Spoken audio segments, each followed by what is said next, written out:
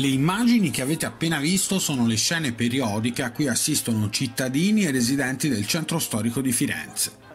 Per questo motivo il prefetto Laura Lega ha firmato un'ordinanza che disegna una zona rossa, strade e vie off limits per chi ha violato la legge o le regole.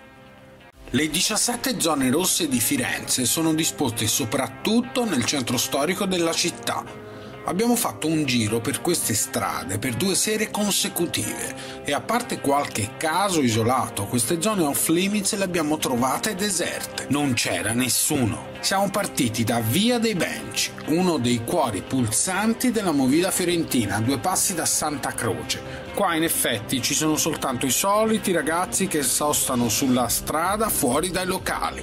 Nessuna situazione strana o controlli evidenti. Fatti pochi metri appena usciti dalla zona rossa, ci imbattiamo nel disagio di circa una ventina di cittadini rom a dormire davanti all'entrata del Palazzo dei Congressi.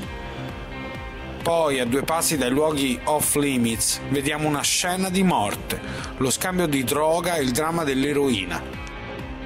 La preparano e se la iniettano.